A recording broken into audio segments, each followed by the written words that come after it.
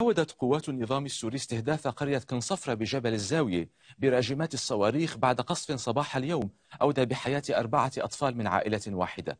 كما استهدفت قوات النظام بالقذائف العنقودية قرية عبشيب بالتزامن مع غارات روسية على البلدة ومناطق متفرقة في إدلب.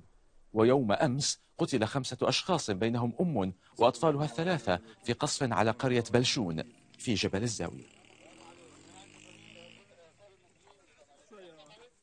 نتحدث إلى مراسلنا في إدلب إبراهيم تريسي. إبراهيم أطلعنا على مزيد من التفاصيل وكيف يفسر عندكم هذا القصف المتواصل من قبل النظام وروسيا؟ هل هو تمهيد لشيء أكبر ما؟ نعم وائل يعني في الحقيقة منذ ساعات الصباح الأولى تقوم قوات النظام السوري باستهداف قرى وبلدات جبل الزاوية بالصواريخ المدفعية آه، وراجمات الصواريخ أيضا. قامت قوات النظام السوري صباح اليوم باستهداف قرية كنصفرة في جبل الزاوية. الأمر الذي أدى إلى سقوط أربعة أطفال من عائلة واحدة.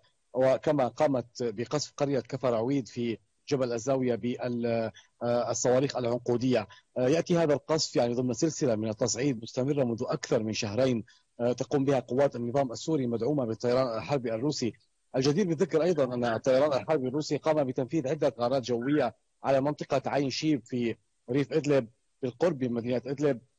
يقال أن هذه المنطقة التي تم استهدافها آه، هي منطقة تابعة للمعارضة السورية.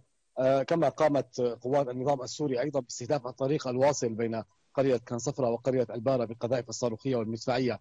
هذا التركيز وائل على استهداف مناحي الحياة وخاصة البيوت المدنية وخاصة البيوت التي تحوي الأطفال بحسب نشطاء هو أمر ممنهج يقوم تقوم به قوات النظام السوري لأن الاستهداف يتم حاليا عن طريق ما الهدف يا إبراهيم؟ تمهيد لعمليه أكبر؟ في الحقيقة وائل لحد الآن لا توجد حشودات عسكرية للنظام السوري على آه، أطراف جبل الزاوية أو أو المناطق التي يسيطر عليها النظام السوري، لذلك آه، النظام السوري وروسيا تعتمد بحسب محللين استراتيجية جديدة غير استراتيجية الاجتياح العسكري، هي استراتيجية الرعب العميق الذي تبثه في صفوف المدنيين في جبل الزاوية من أجل دفعهم إلى الرحيل من مناطقهم. نعم. صح شكرا جزيلا يا إبراهيم. إبراهيم تريسي.